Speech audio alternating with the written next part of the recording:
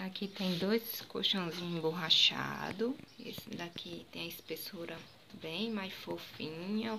O de baixo é bem fininho. Aí o forro aqui tá com ciúme, vi, do seu colchão, nega. Tá com ciúme, vi. Elas gostam de ficar mais nessa casinha no inverno, porque ela é mais quentinha. Tem essa tampa aqui, quando é no verão a gente abre.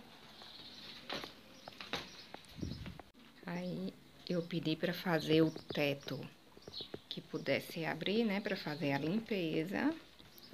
E tem esse ganchinho aqui que segura o teto. Esse ganchinho. Aí a gente encosta aqui no verão, fica ventilado para elas ficarem. Tem essas patinhas aqui para ventilar um pouco também. E quando chega o inverno, a gente baixa a tampinha. Vem olhar, a Leona tá mexendo na casinha de. Baixa a tampinha e elas ficam quentinhas lá dentro. Eu vou abrir aqui, senão o Bi vai torrar ali, que o sol tá quente pra caramba. Leona, tá fazendo arte, Leona. Abrir aqui. Puxa o ganchinho. E o teto fica. Oi, Bi, dá um oi aí, nega.